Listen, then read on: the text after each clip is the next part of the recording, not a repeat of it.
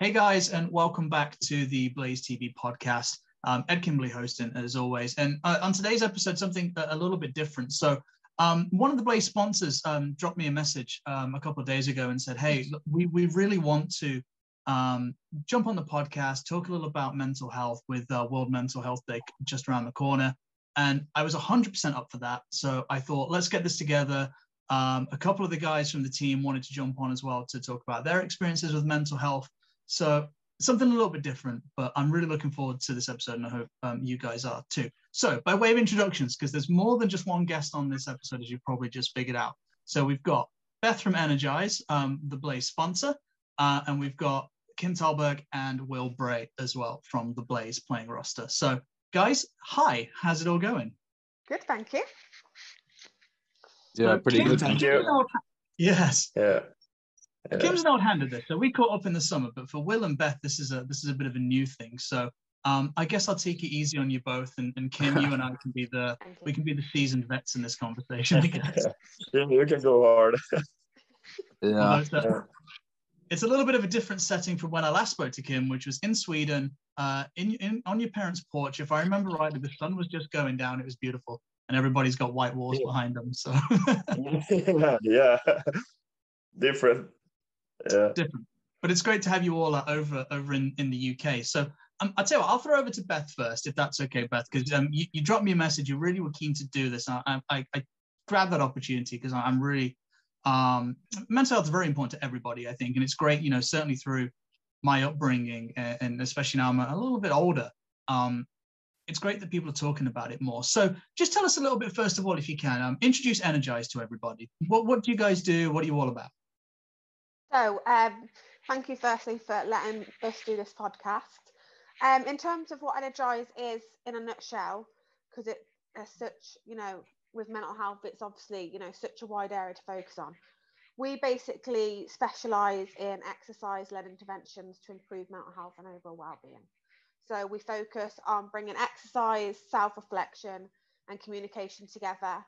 And it's about reconnecting the body and mind. Probably what a lot of people don't know when you suffer with mental health issues or early signs of anxiety that you get that disconnect and it's mm. about bringing that ke- connect to the body and mind back together using you know simple strategies to be able to kind of design a unique plan around coping mechanisms that you know for yourself that might arise now or in the future to be able to deal with your own issues And I saw that you, you do a lot of work in prisons as well. And that's a, a really high stress environment, I guess. So the, the, the mental health aspect of that is very important.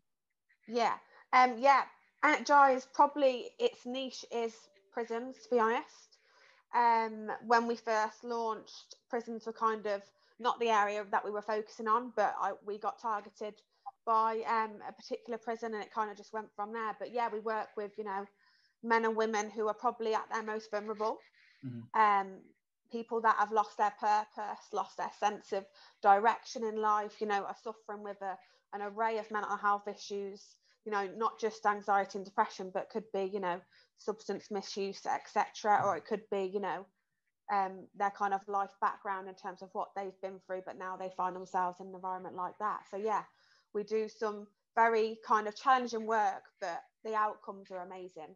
And it's being able to kind of give everyone that opportunity. And that's what Energize is about. It's it's not about, you know, kind of fo- targeting one particular area. I think everyone should have a chance to be able to improve their overall well-being. Yeah, for sure. And um, what would you to working and teaming up with the Blaze Bear? So, to be honest, um, I've wanted to kind of do some work with the Blaze for quite a while.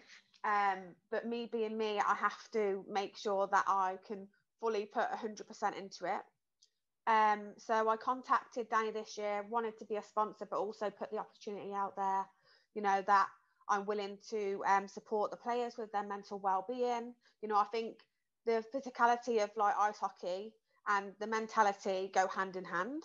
You know, without both of them working together, it's a lot on the players, and especially, you know, um, the players being elite professional players, that you've got that pressure the whole time, you know, on games, on training, on performance, on confidence, etc. So I just thought it'd be something different to be able to offer the the um, Blaze team and um, whoever else needs that support. So it's been great that you know we've we've already had an uptake and and it's great that the guys are interested in it too and really see the opportunity there.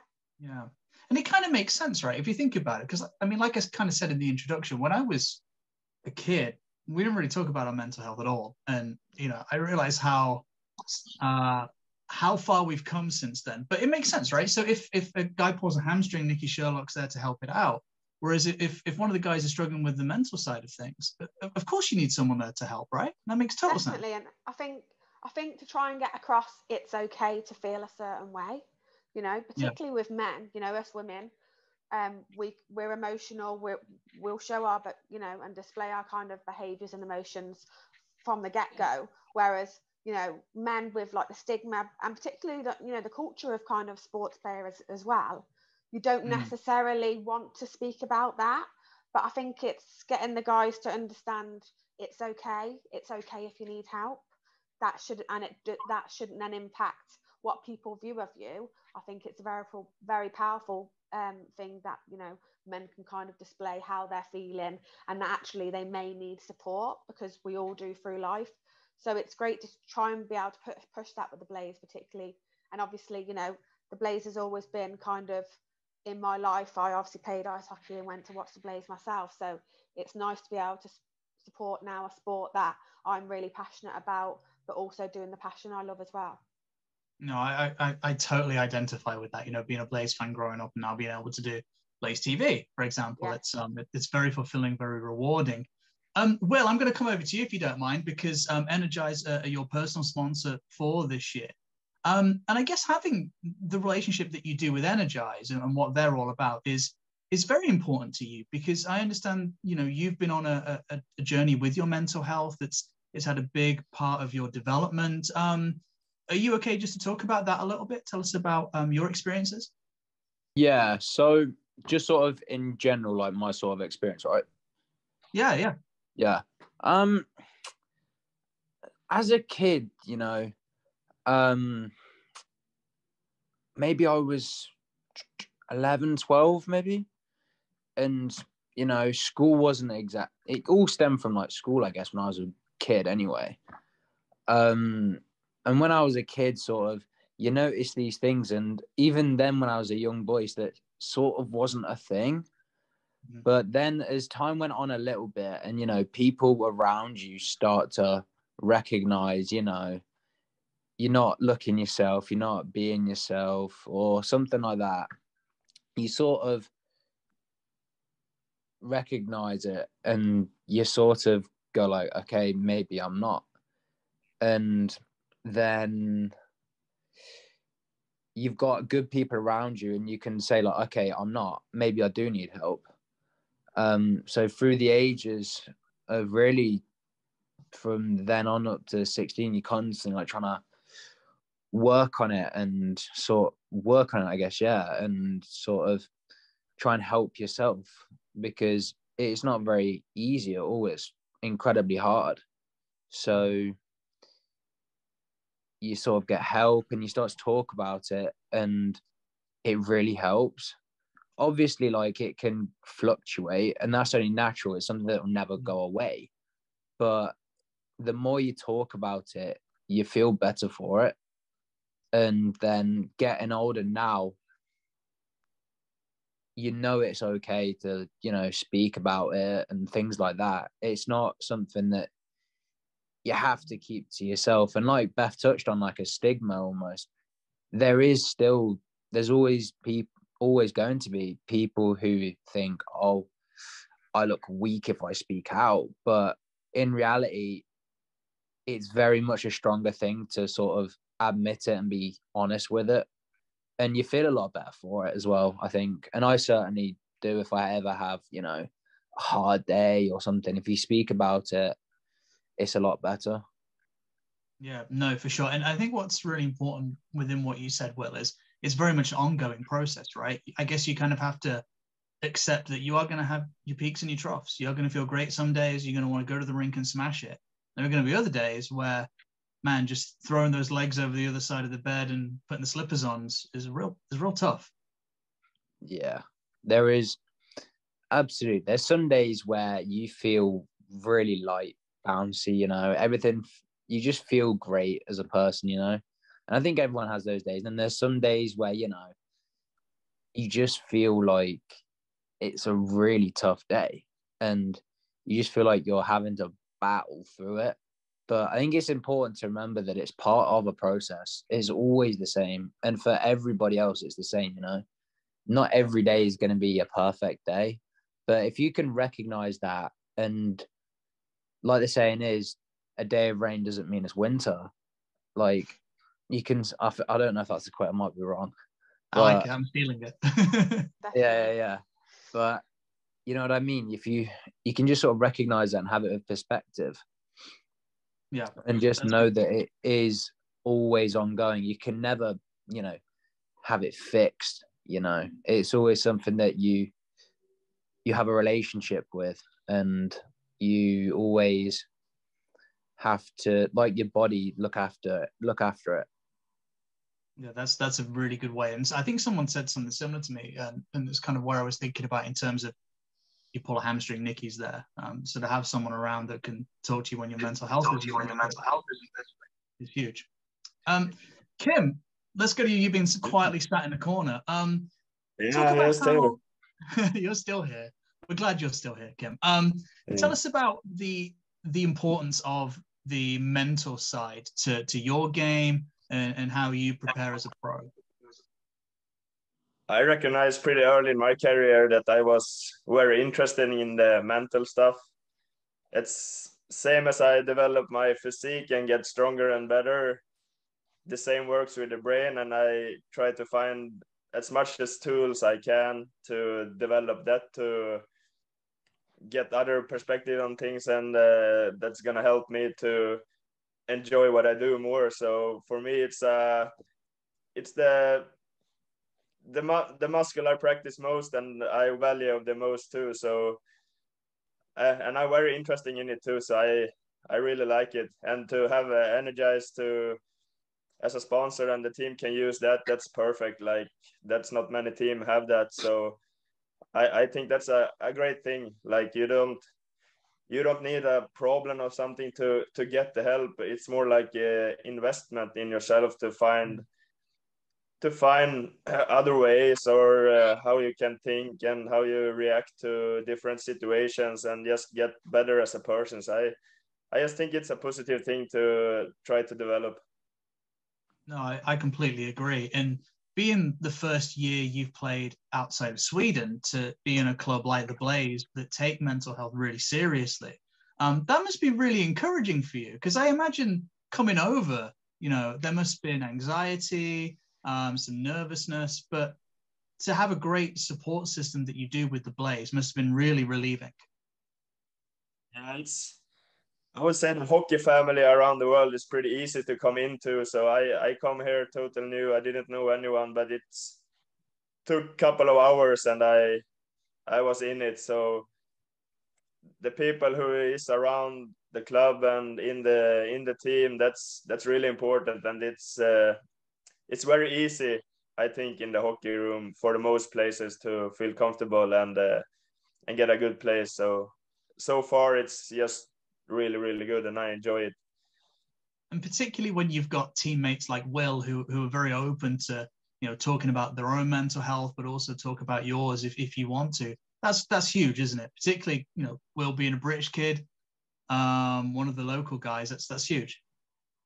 Yeah, that's really good. Will is a good good man, and he he's young and uh, taking this uh, so early. It's a really good for his journey. So that just gonna develop him more. So I'm glad that he he he take that that way. So that's good.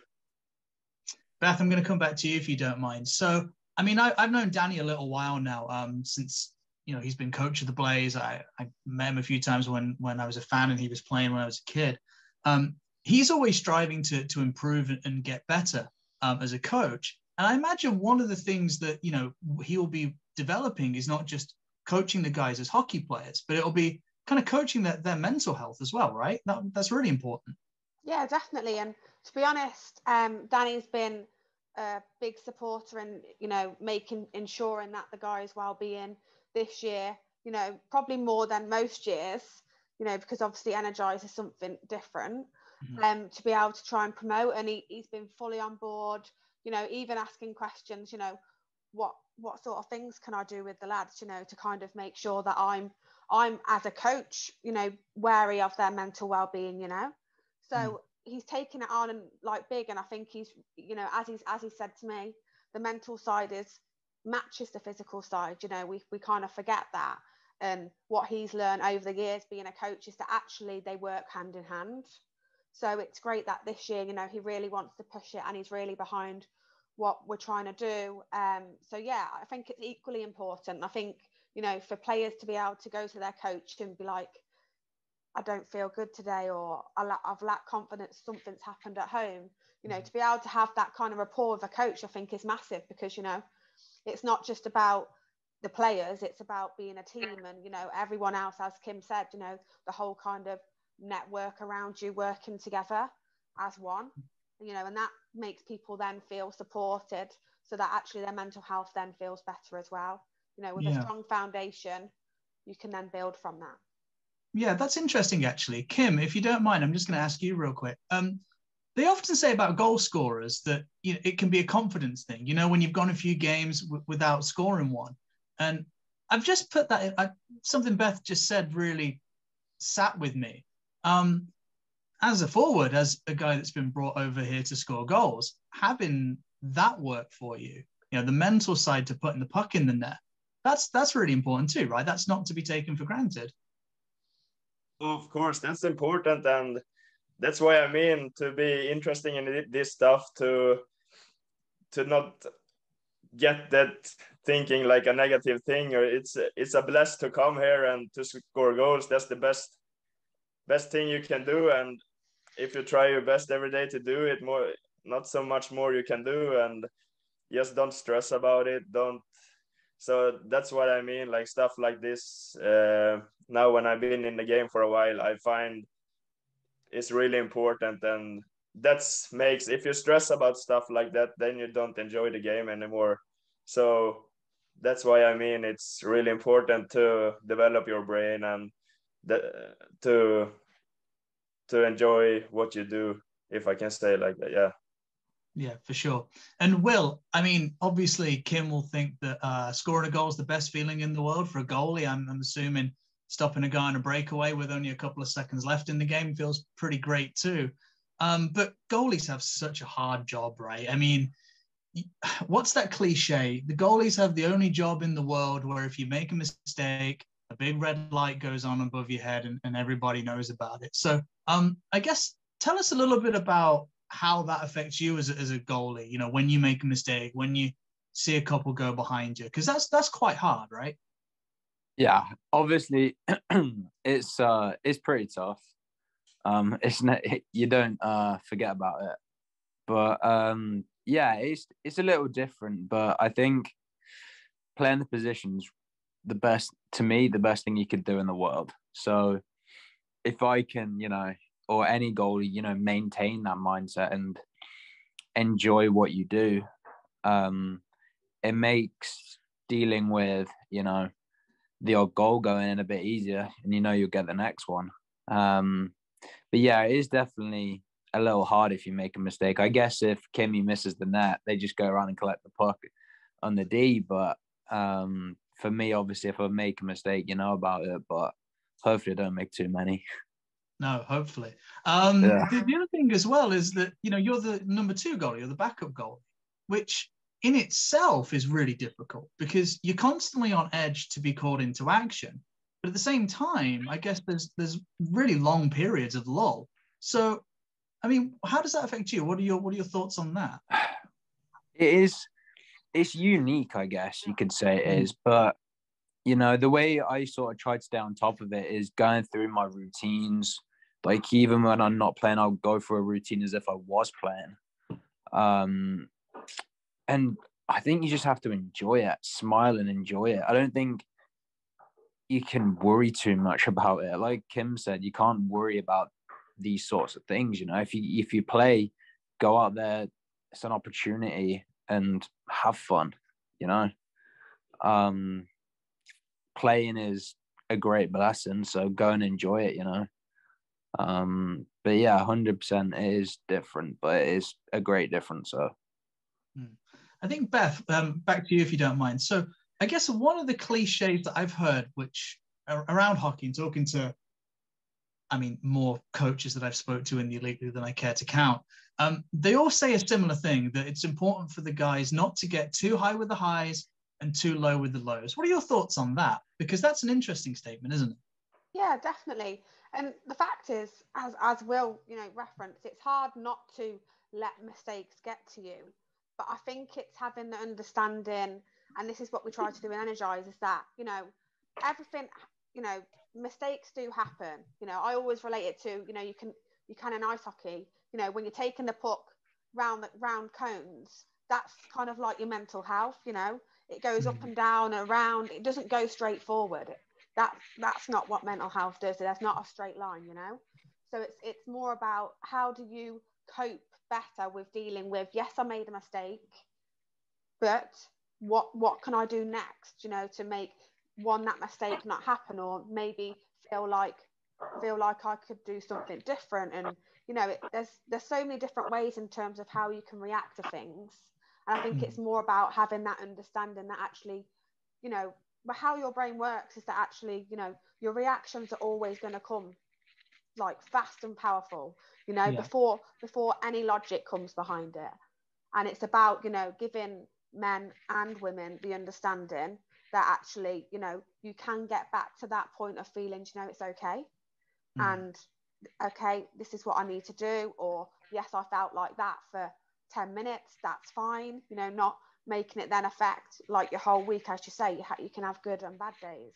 I think you know i think it's normalizing that you know we have emotions and that's fine to feel those emotions. They shouldn't be hidden you know. We don't need to be wearing a mask the whole time to be able to demonstrate who we are. And that's what mm. a lot of mm. people you know try to do. So i think it's more about understanding what's the best way that's going to work for you in terms of how you feel? You know in terms of yes i made a mistake or i've had a really good game etc how does that impact you? And looking back at it and thinking actually okay if i do this then i feel a lot better about it. Because as yeah. you say it, it's a game and all you can do on the day is put the best in you can you know? And as and as will said you know you, you have good and bad days. Yeah. so we have to be realistic with those yeah I, I certainly feel like that from from the position that i'm in you know um, commentating on the games. And one thing that i've i guess identified for me recently is that you know when you're commentating on a hockey game your brain's going a million miles an hour right? Because you're obviously trying to um, translate what's going on on the ice to, to at home. You're trying to make it entertaining you know. For, for me i guess and, and the blaze uh, the blaze webcast we have a brand. You know our brand is that we try and call the game pretty evenly um, being that you know a lot of our um, viewers are, are, are, away fans, right? So if we're really Blaze, you know, biased, it doesn't really doesn't really you know, for me anyway, translate that well to to an audience. Um, you've also got the stats to think about. I know it sounds really silly, but I mean, I've been doing this 10 years and there's still a part of my brain that's like, don't swear, you know, and, and I naturally swear quite a lot. So my brain goes a million miles an hour when I'm commentating. There's always things to talk about, you know, trying to figure out what to say, what not to.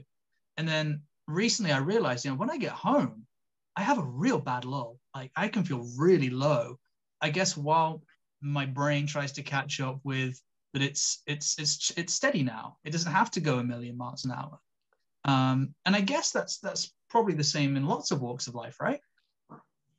Definitely, and uh, you know, and I think we've all got different kind of things that we go through that we can relate to you know like you're commentating the boys are playing ice hockey you know obviously my job is to help and support people and that you know it, that can be mentally draining in itself you know mm. because mm. you hear things on a daily basis that you know are are upsetting or maybe a trigger for you you know so i think it's more about you know learning your own coping mechanisms rather than trying to fit into a mechanism you think is going to work it's about building that around yourself. I think I said to one of the lads on um on an energize session, you know, energize doesn't, you know, you don't fit energize. Energize fits around you because we're all individual you know it's not a one fits all approach. So it's how you know how you can embed the right strategies around yourself. You know things you might be reading you might not relate with. But if you break it down in your head to kind of think you know why do i feel that way? Or you know it's okay to have that kind of lull and get mm. back up because you know you've had a lot of pressure on you for the last how many hours whilst you're trying to commentate a game you know, and you've got to be wary of not to swear or to say the right yeah. thing, etc. so I think it's more about knowing that, you know, feeling that way is okay, but if you don't like the way you feel, what what what can we do sure. to kind of try and make you feel better in a way that's suited to you rather than to, you know, trying to suit it to someone else that it doesn't really relate to. Yeah, no, I understand. Hey Kim, do you do you find there's a similar thing for you in, in that, you know, once you finish playing, win or lose, you kind of get showered, get changed, you hit the bus. Do, do you find that you have something similar, or, or how does how does the, how does after the game affect your mental health? No, I would say it's good. I I don't think so much. Uh, I always, of course, it's something there, but nothing that creates me negative. Or I just try to find solution if I think something is if I think on something that's good now, we always have video. You can go and watch situation if you want to watch something and learn about it. Or otherwise, if it's a a tough game and we lose, I try to leave it in the shower, just rinse it off and bring something positive with me uh, nowadays. So I wouldn't say that affect me negative no more. No, that's good. That's really cool. Um, Will, what about you? Do you do you find after you've had a, you know, maybe a rough practice or even just after a game, do, do you find that there's a, a shift in your state of, of mind or? Uh, I mean, if there's a tough game or what or tough practice, obviously there's some sort of you feel a bit maybe angry or whatever because obviously I don't like letting goals in. I'll be honest, like, I can't stand it. But I think when you're able to frame it positively and take something out of it, you can feel okay about it and you can feel better about it, sort of, sort of thing. I think in every sort of mistake or failure, bad game, whatever, there's something to learn. Mm. And you know, next time you play or whatever, you don't make the same mistake twice. And that's where, you know, your game keeps getting better, and that's where you see progress. Yeah, that, that's similar for me as well. You know, I, I, I watch highlights religiously, even though I hate the sound of my own voice. Uh, when the highlight packages come out, I'm probably one of the first people to watch it just to, you know, I always have that in the back of my mind. I think I messed that goal up. You know, I didn't really give a good call on that goal. I remember David Clements actually. I remember he scored his first pro goal and I commentated on it and I gave him an awful call. I messed it up. I can't remember what I did, but I remember feeling so bad because that was a big moment for him. I messaged him afterwards. I never really do this and just said, "Hey, I'm really sorry. I, when you get the highlights back, I, I messed that up." And he was really cool about it. You know, he's a really young guy, and he was just like, "Don't worry about it, man. Don't worry, it's cool."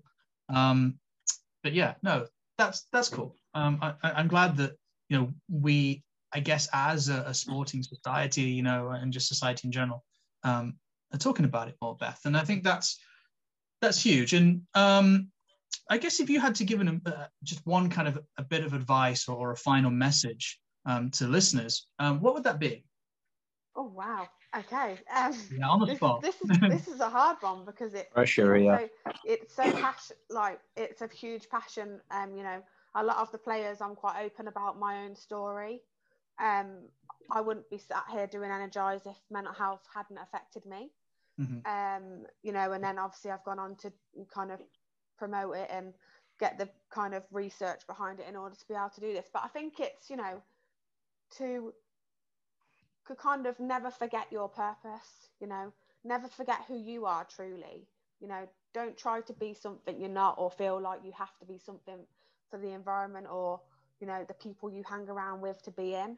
And never feel ashamed to show the true you, you know, never feel ashamed to, to know that you're going through issues or you know things are affecting you in a way and always ask for help you know help help shouldn't be you know dampened down. Help should be only lifted up in terms of you know there's so many people out there to be able to help people whether it's your friend whether it's you know like the guys using energize etc you know.